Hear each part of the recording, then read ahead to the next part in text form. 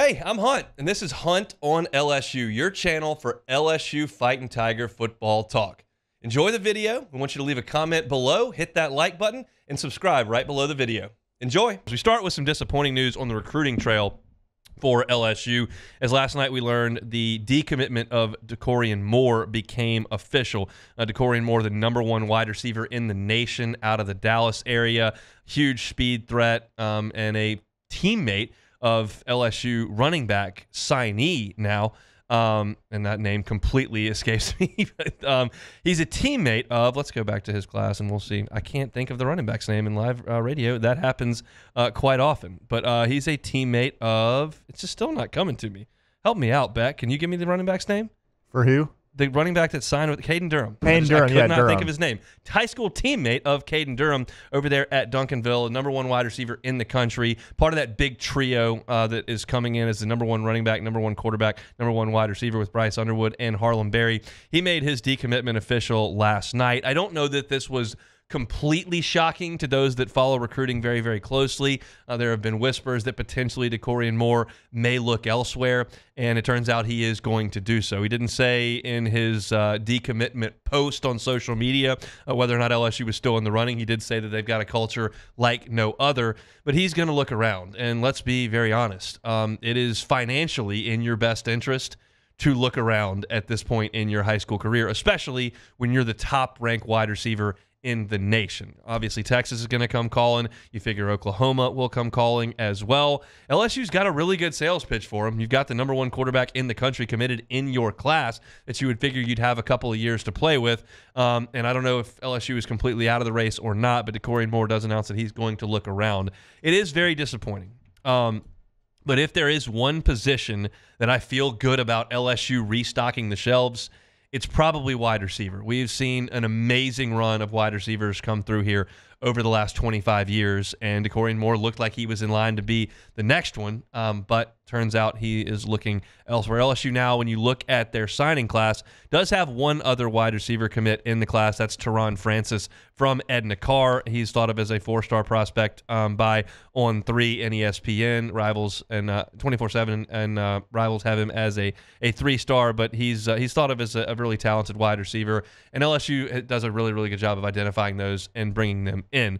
Um, so you certainly want to continue to recruit Dakorien Moore and try to get him back in the boat. And I think LSU's got a good case there, but the fact that he decommits does not sound great for LSU. You look at what it does to their recruiting class, and this this signing class looks monster. At this point, you've got 11 commitments. I mentioned Bryce Underwood. I mentioned Harlem Berry. Uh, Jabori Antoine is a four-star recruit in this class. So is Tyler Miller. Uh, interior offensive lineman Devin Harper. Linebacker uh, Charles Ross. Keelan Moses from here at U High is a four-star recruit. I mentioned Francis J.D. LaFleur is a highly regarded tight end with some great size. Uh, Brett Bordelon is thought of as a really strong offensive lineman prospect. So still a, a class that's got a, a ton of juice behind it. Um, but you're looking at a class that now on on three jumps down to number two in the country. And according to 24/7, LSU with the sixth best class in the country. Long way to go from that to that early signing. Well, not as long as it used to be, but a long way to go for that early signing period.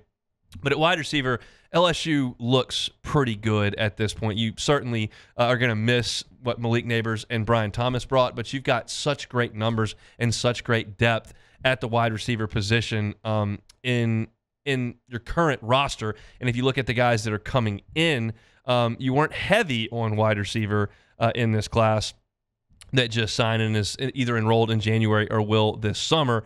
Um, but you did have Jelani Watkins, who was a four-star, uh, come in at uh, at wide receiver, um, and you had Michael Turner from John Curtis come in at wide receiver.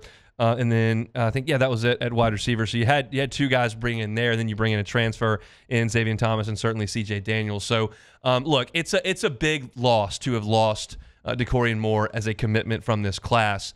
Uh, and I hope that LSU continues to foster that relationship and can try to get him back in the boat. But it feels like it's unlikely if you listen to what the experts have to say. Um, he's going to be a guy that's going to probably cash in uh, quite significantly on an NIL front, and he's got a lot of teams lining up for his services. And when you create a bidding war, you can really ratchet that number up. I know that's a, something that people are really uncomfortable talking about, but we know that it is the reality now. And, and certainly LSU does have money in the coffers. We talked to Wilson Alexander earlier this week. He wrote a great piece up on the Advocate about where LSU sits in the NIL front. Said last year about four million dollars for the team. They're budgeting 8 million for this year. There are some teams that are up closer 13 and 14. Some teams on the lower level down closer to five. LSU's right there in the middle of that, and most of that is going to be spent on bringing in high schoolers and retaining your current roster. That's the way that LSU is setting up their money. They're going to make sure that when you get somebody into the program and they do produce for this roster, for the sake of the discussion, it's guys like Will Campbell, guys like Harold Perkins,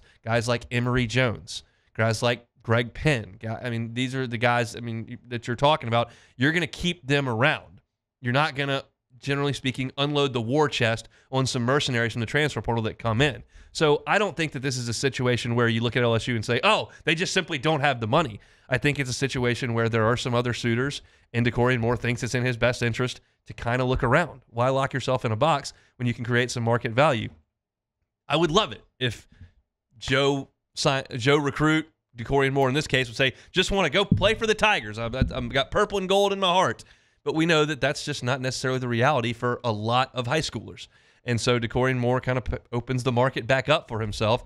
And again, I, I, hope LSU can pull him in, but I just don't have a lot of doubt that LSU is going to be able to find a lot of talented wide receivers. They can find them here in the state of Louisiana. They can find them nationally with the brand that LSU has. And certainly with Bryce Underwood in this class, you would think that that would get a lot of wide receivers' attention. So uh, I have no doubt that LSU will go out and sign some really talented receivers. But anytime you get a decommitment of a guy that high profile, it stinks. And we've been talking about this high school class for so long because they've got that trio number one wide receiver, number one quarterback, number one running back. And that's that's newsworthy. And when you've got a class that's ranked towards the top of a lot of uh, a lot of lists, that's newsworthy as well. It's the way that Brian Kelly wants to run this thing, and they've done an exceptional job. But you understand when you're dealing more so with out of state kids, and you've got the the environment that you've got around college football and the recruiting scene, which is now driven almost entirely by name, image, and likeness. Not not entirely. I think some people would suggest just always to the highest bidder. I don't think that's always the case. It, it does happen sometimes, but I don't think it's always the case. In this situation, uh, LSU is going to have to work a little bit harder to try to get Dakorien Moore uh, in the boat. I would think having a Duncanville teammate in the signing class ahead of him, I would think having Bryce Underwood would be a, a, strong pull, but obviously there are other factors that are going to play here um, with uh, with Dakorien Moore's recruitment. So it's uh, it's a situation that is fluid, as all recruiting situations are, and we'll see uh, what develops here moving forward. But a bummer for LSU to fall out of the top spot on one three to lose the number one wide receiver in the country as far as commitments goes. We'll see how things shake out, but I I, I trust this staff implicitly to recruit. When you look at the guys they have have got on this staff. And for wide receiver, you're talking about Cortez Hankton, who's been great at recruiting at two different stops. Um, there there is a a relentless group of recruiters that I'm certain will fill those shelves um, with Dakorien Moore or without because they've got a, a, staff that's excellent on the recruiting trail. So bummer of news, but I think there's good news around the corner for LSU on the recruiting front as long as they've got this staff uh, in place. Hey, thanks for watching Hunt on LSU. Before you get out of here, do us a couple favors. Hit that like button Leave your comments below and subscribe to the channel for all your Fighting Tiger football talk. See you next time.